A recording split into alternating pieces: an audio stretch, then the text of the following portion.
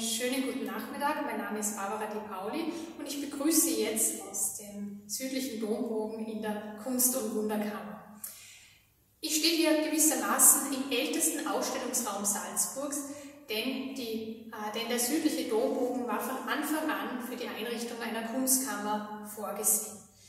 Begonnen unter Fürsterzbischof Rudolf Graf Thun wurde die Kunstkammer von seinem Nachfolger Maximilian Gandolf Graf Grünburg um 1668 vollendet. Max Gandolf hat in der Kunstkammer auch die schönen schwarzen Schränke mit dem goldenen Gitter aufstellen lassen, ähm, die Deckenstuckaturen beauftragt und den wunderschönen Marmorfußboden verlegen lassen. Ähm, der Raum ist in seiner Ausstattung noch original erhalten. Was wir leider nicht mehr haben, ist die originale Sammlung. Mit dem Ende des Erdstifts ist die Sammlung abtransportiert worden und ging für Salzburg verloren. 1974 mit der Gründung des Dommuseums wurde hier wieder eine barocke Kunst- und Wunderkammer eingerichtet. Eine Kunst- und Wunderkammer in aller Kürze zu erklären, ist eine kleine Herausforderung. Ich versuche es trotzdem in ein paar Sätzen. Ähm, eine Kunst- und Wunderkammer wollte ein Abbild der ganzen Welt sein. Man wollte alles, was die Welt hervorgebracht hatte, also Dinge aus der Natur, aber auch vom Menschen geschaffenes wie Technik oder Kunst ausstellen. Die Besucher der Kunst- und Wunderkammer waren meist exklusive Gäste des Fürstens. Kunst- und Wunderkammern wurden vor allem auf fürstlichen Höfen eingerichtet und waren natürlich nicht öffentlich zugänglich. Ja, und die große Bandbreite an Objekten, die in der Kunst- und Wunderkammer zu sehen sind, regten äh, schon in der Barockzeit die Menschen zum Staunen und Wundern an. Und das tut man auch noch heute, wenn man in die Kunst- und Wunderkammer kommt. Einige Objekte sind für uns vor allem wunderlich, die vielleicht in der damaligen Zeit bekannter waren als heute. Und weil wir diesen Freitag jetzt einen Uhrenschwerpunkt haben, möchten wir Ihnen auch zwei wundersame Uhren vorstellen. Die erste befindet sich schon im Kasten hinter mir und wir haben, obwohl wir ja nicht im Museum äh, direkt unsere Besucher begrüßen dürfen, trotzdem jetzt den großen Vorteil, dass wir die Vitrinen aufsperren dürfen. Und ich freue mich sehr, dass wir das nun mit Ihnen zu Hause äh, einen Einblick in unsere Vitrinen gewähren dürfen.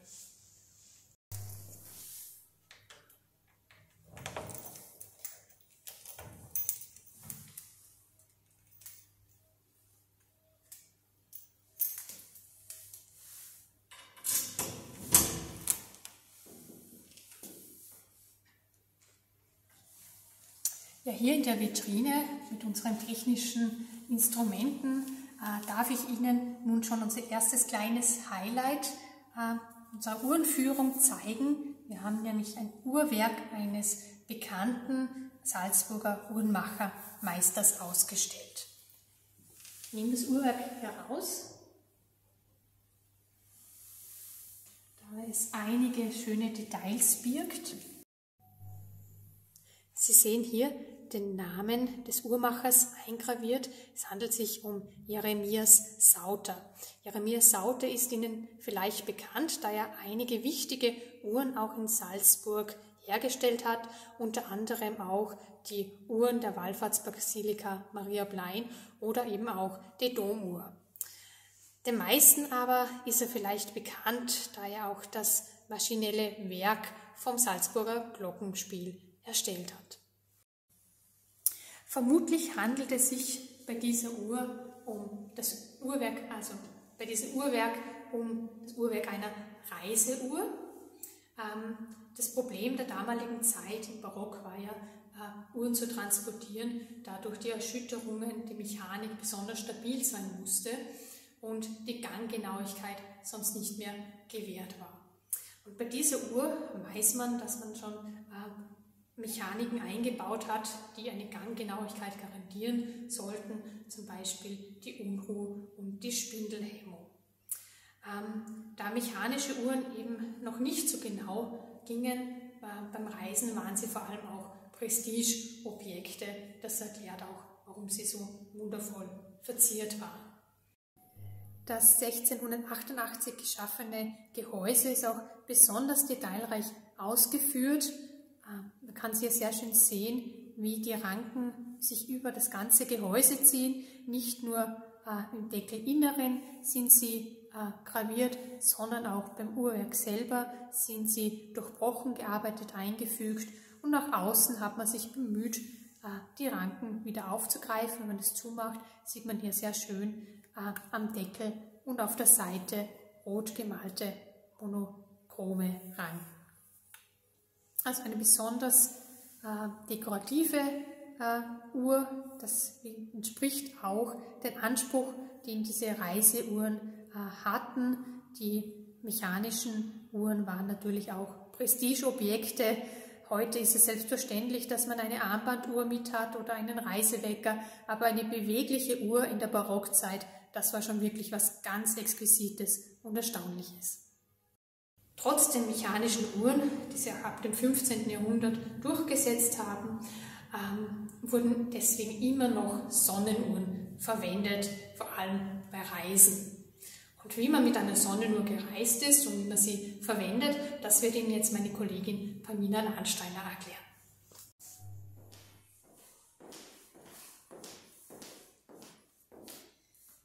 Grüß Gott, ich bin Pamina Landsteiner und ich möchte Ihnen heute eine besondere Sonnenuhr zeigen.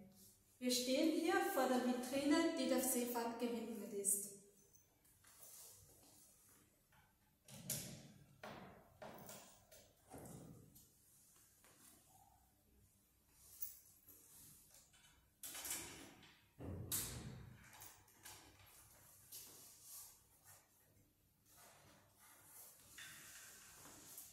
Wie wir von meiner Kollegin schon gehört haben, gab es auch andere Uhren, die zur Reise mitgenommen werden konnten. Eine so eine besondere Reiseuhr möchte ich Ihnen heute zeigen. Es ist nämlich eine Klappsonnenuhr.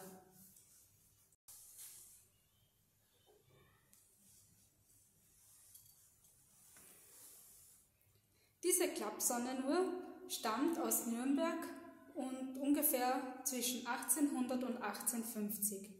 Nürnberg war neben Augsburg nämlich bekannt für die Klappsonnenuhren. Diese Uhr stammt vom Hersteller Stockert. Die, waren in Nürnberg und in Fürth ansässig. Diese Klappsonnenuhren wurden aufgrund ihrer handlichen Größe auch Reise- oder Taschensonnenuhren genannt. Dass sie für Reisen sehr beliebt waren und auch dafür gedacht waren, bezeugt die Rückseite dieser Klappsonnenuhr.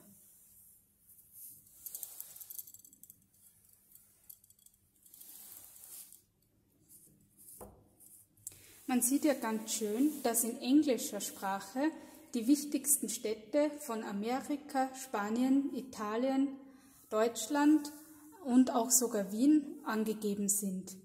Daneben sieht man die Ziffern. Diese Ziffern bezeugen den Breitengrad, in dem sich diese Städte befinden. Der Breitengrad ist besonders wichtig, um die Sonnenuhr dann an Ort und Stelle richtig auszurichten, damit man die Uhrzeit lesen kann.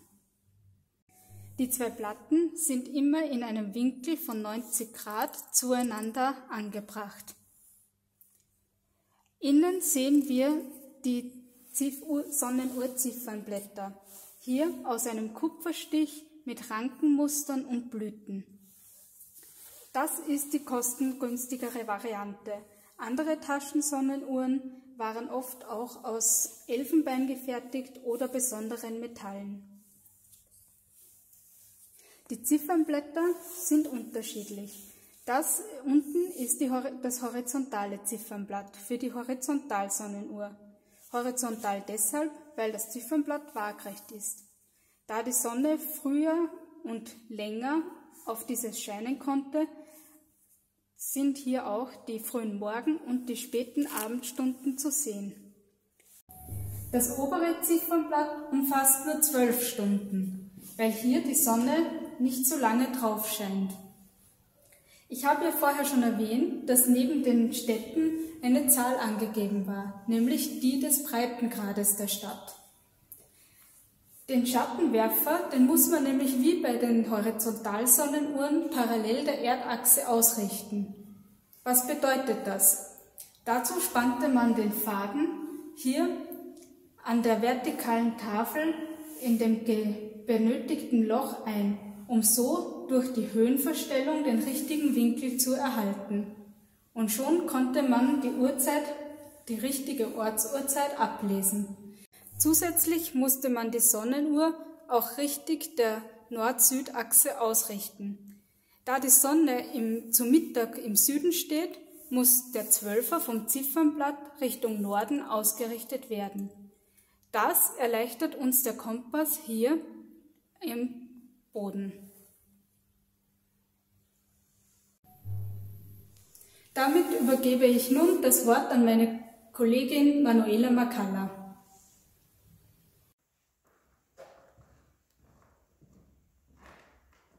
Auch ich möchte Sie recht herzlich in den Punkträumen im Domquartier begrüßen.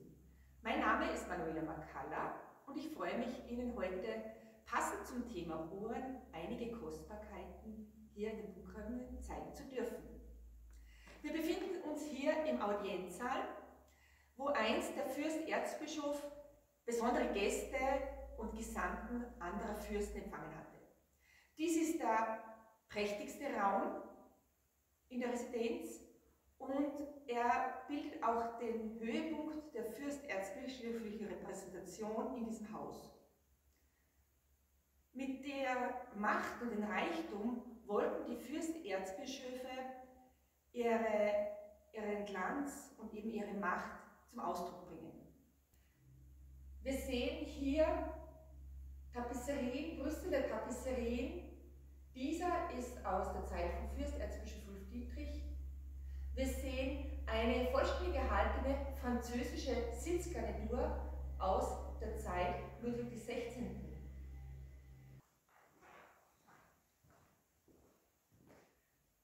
Darüber hinaus gibt es kristallene Luster und kristallene Kerzenständer, die für Licht hier sorgten in den Räumen. Die Kerzenständer wurden vor großen Spiegel gestellt, um mehr Licht noch hereinzubringen in, den Räumen, in die Räume.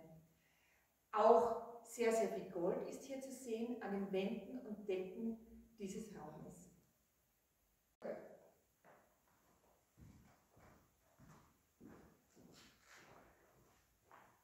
Eine ganz besondere Im Audienzsaal ist diese barocke Bodenstanduhr aus der Uhrensammlung von Fürsterzbischof Leopold Anton von Firmia. Fürsterzbischof Leopold Anton von Firmen war ein leidenschaftlicher Uhrensammler. Allein in seinem Schlafzimmer hatte er sechs Uhren. Berechnet wurden diese Uhren vom Benediktinermönch Bernhard Stuart. Er war Gelehrter an der Universität Salzburg für Mathematik und Astronomie. Gebaut wurden sie vom Hofuhrenmacher Jakob Bentele. Die Uhren waren in früheren Zeiten nicht nur Zeitmessgeräte, sie waren auch Symbol für Ordnung und Autorität, also auch ein Symbol absolutistischer Herrschaft. Hier im Audienzzimmer sehen Sie eine Bodenstanduhr. Auf ihr sind auf gravierten Ziffernblättern die Tageszeiten bis hin zu den Mondphasen abzulesen. Außerdem enthält sie ein Glockenspiel mit vier Melodien und bekrönt wird sie von der vergoldeten Figur eines Kronos. Kronos ist ein Gott aus der griechischen Mythologie, die Personifizierung der Zeit.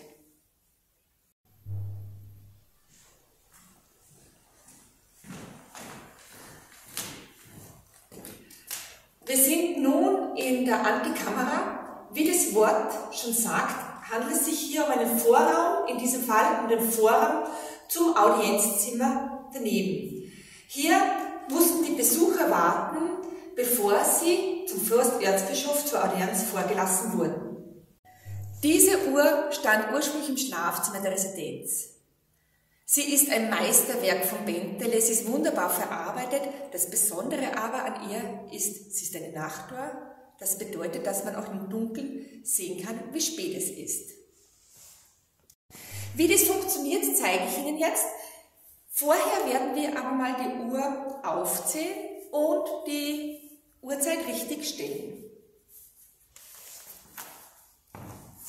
Hierfür nehme ich von der Rückseite einen Schlüssel, klappe das Siegel nach vor und werde die Uhr jetzt einmal aufziehen.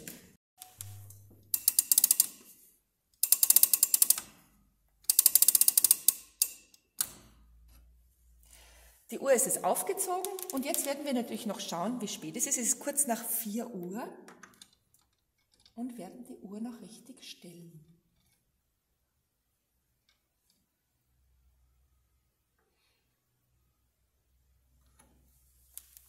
Wir schließen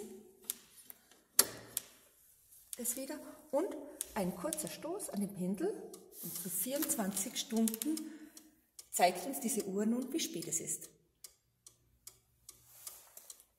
Und jetzt werden wir zum Abschluss noch die Nachtuhr zum Leuchten bringen. Dafür machen wir es etwas dunkler in diesem Raum.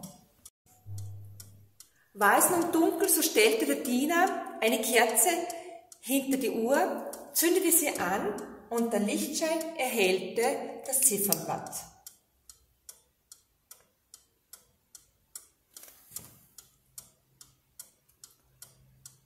Mit diesen stimmungsvollen Bildern möchten wir uns für Ihre Aufmerksamkeit bedanken.